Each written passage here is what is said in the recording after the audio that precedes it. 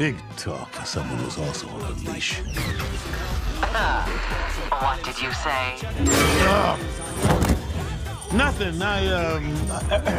If you ever say that again, I will tear your soul apart and broadcast your screams for every other disrespectful